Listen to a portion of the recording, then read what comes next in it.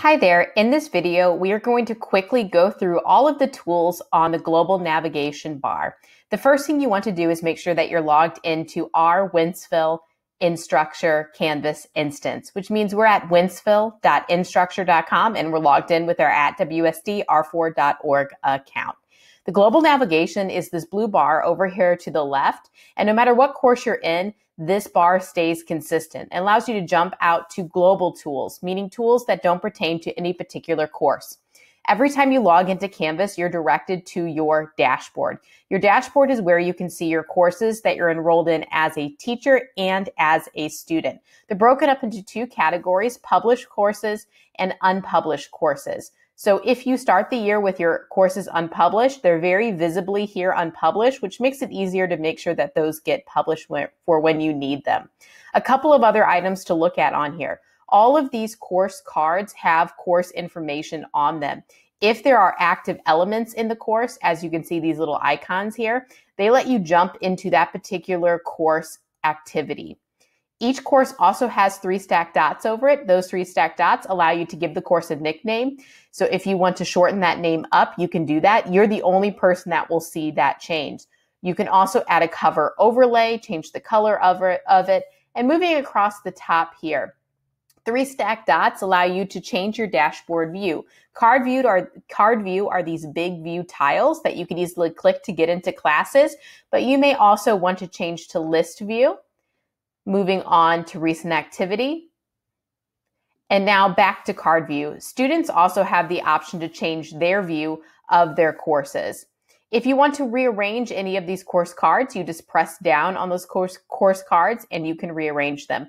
Over here on the right is your dynamic to-do list. As a teacher, it will list out the items that you need to grade. As a student, it will list out the items that you need to complete. Moving along now to the courses tab. When you press the courses tab, it's going to show you all your published courses, unpublished courses, and if you scroll down and press all courses, you will see courses from all time that you've been enrolled in as a teacher or as a student, even ones that are from past terms.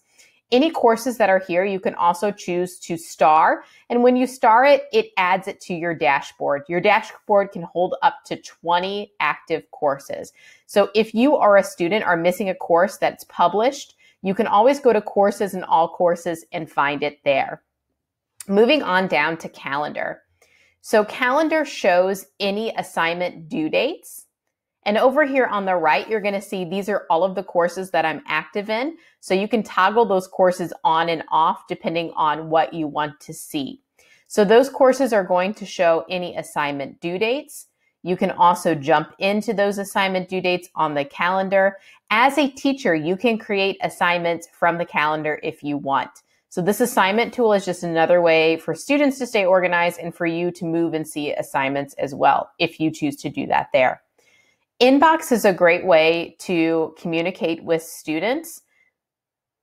The nice thing about Inbox is that any messages that are sent through Inbox actually end up in your at WSDR4.org Google account email as well. So you don't have to remember to check here. You can also just check through your Gmail. To compose a new message, up here at the top is a compose a new message button. As a teacher, you get to choose what course you want to contact. So which email you can go in here and find your courses, click on them, and then choose which students you want to send a message to, all from Canvas.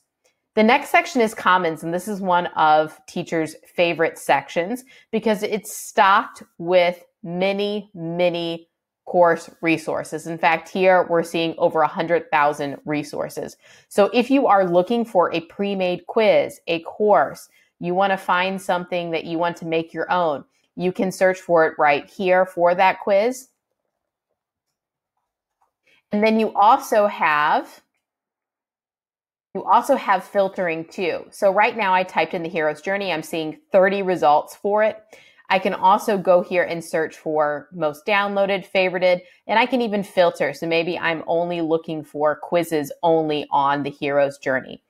Once I find a resource that looks interesting to me, I can click on the title of it and I can preview a little bit more about that resource. So here in a second, we'll see a preview. So here are the quiz questions showing me what it's going to be like. If I want to bring that into my course, Over here on the right, I can click my import or download button and then it's going to bring up my courses. All I do is click on the course that I want to bring that into.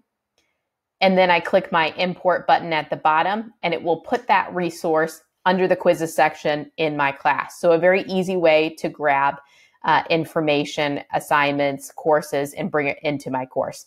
Finally, this help button is right here at the bottom. The help button is really awesome because we have this search the Canvas guides tool.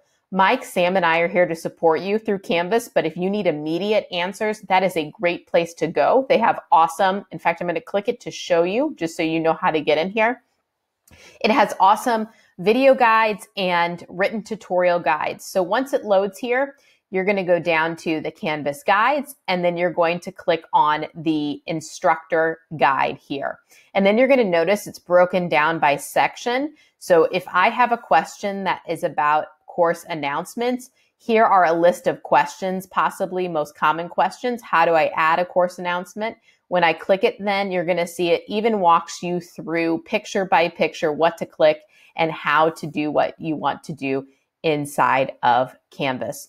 So again, we just looked at the global navigation bar. That is that blue bar on the left here. And no matter what course you're in, that is the bar that stays consistent. Students have a very similar view here. Students do not have that commons button though.